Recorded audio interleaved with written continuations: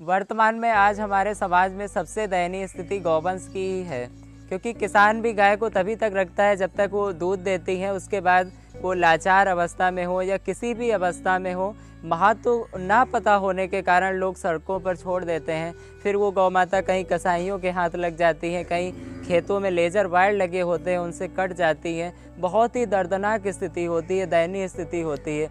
ऐसी स्थिति में मेरे पास फ़ोन आते हैं, अक्सर मतलब प्रतिदिन 10-20 फ़ोन आते हैं, कॉल आते हैं। उन गौवंशों को हम लेके आते हैं। मेरा नाम राघव शुक्ला है और मेरे द्वारा श्री राघव गोवर्धन गौशाला समिति की 2012 में शुरुआत की गई थी। शुरुआत में भी दो ऐसे गौवंश थे जिनका रोड पे एक्सीडेंट हो गया था, जिनमें एक इंजर्ड गौ माता थी, एक प्रेग्नेंट गौ माता थी आठ महीने की। उन गौ माता को लेके आए। वहीं से भाव हुआ कि आजीवन अब हम गौ सेवा करेंगे, क्योंकि जो हमारे सनातन धर्म की रीढ़ है, वही परेशान है और वही दिक्कत में है। उन गौ गौ माता से गौशाला की शुरुआत हुई। ये सारे गो गौवंश है जो कहीं ना कहीं रोड एक्सीडेंट में घायल हैं, नेत्रहीन हैं, विकलांग हैं। उन गौवंशों की सेवा होती है।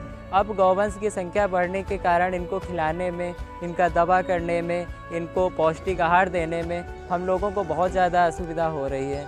आप सभी से अनुरोध है, कृपया गौ सेवा के इस पुनीत कार्य में बढ़ चढ़ कर सहभागी बने और अच्छे पूर्ण के भागी बने गौ माता की कृपा प्राप्त करें। जय गौ माता।